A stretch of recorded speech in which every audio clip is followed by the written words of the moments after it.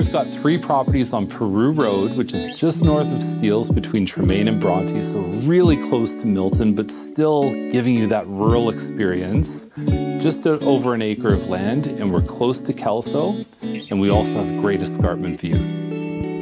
The three parcels of Peru Road include two semis, as well as a vacant piece of land to the north total frontage of these three properties is approximately 125 feet and a little over 300 feet deep that's backing onto 16 Mile Creek.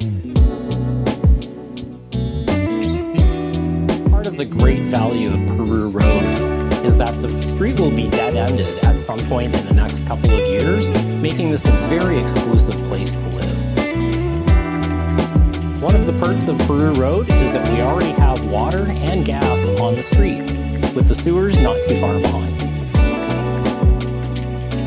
What's really unique about this property is you're within the urban boundary, but you have this wonderful rural location. It's quiet, it's peaceful, you have the creek behind and the great views. So if you want more information about this one acre property, reach out to us with a direct message or give us a call.